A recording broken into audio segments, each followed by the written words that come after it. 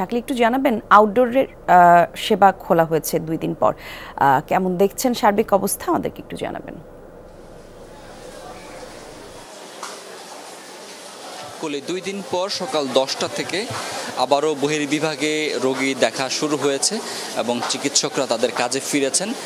পাশাপাশি যে সমস্ত রোগীরা এই গত দুদিন দেখাতে পারেননি চিকিৎসকদের, তারা কিন্তু আজকে এসেছেন এবং তাদের পুরোপুরি সেবা দেওয়া হচ্ছে। যদিও বহির্বিভাগে রোগী দেখার সময়সূচি আসলে সকাল আটটা থেকে দুপুর দুইটা পর্যন্ত, কিন্তু যেহেতু তাদের কর্মবিরতি ছিল চিকিৎসকদের এই কারণে কিন্তু আজকে প্রথম দিনে কর্মবিরতির পর সকাল দশটা থেকে দুপুর একটা পর্যন্ত দেখবেন চিকিৎসকরা।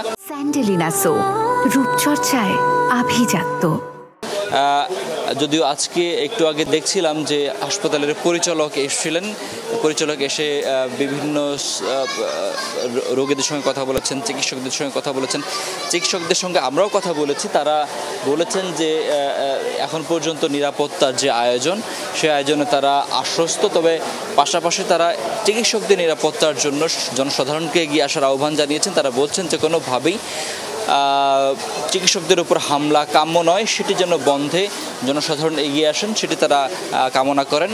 পাশাপাশি আগামীকাল থেকে সকাল আটটা থেকে দুপুর দুইটা পর্যন্ত, অর্থাৎ ঢাকা মেডিকেল কলেজের বহির্বিভাগের রোগী দেখার যে স্বাভাবিক সময়সূচি, সেটি তারা ফলো করবেন, অর্থাৎ আগামীকাল থেকে সকাল আটটা থেকে দুপুর দুইটা পর্যন্ত রোগী দেখবেন বহির্বিভাগে। আর পাশাপাশি ওটি সহ, অর্থাৎ অপারেশন থিয়েটারের পুরোপুরি কার্যক্রম আগামীকাল থেকে শুরু হবে। যদিও হাসপাতালের পরিচালক আজকে আমাকে বলছিলেন যে আজকে থেকেই তারা সেটি শুরু করতে চান, তবে চিকিৎসকদের আরও দুটি দাবি রয়েছে। নিরাপত্তা নিশ্চিত করার পাশাপাশি নিরাপত্তা তো আজকে থেকে নিশ্চিত করা হয়েছে।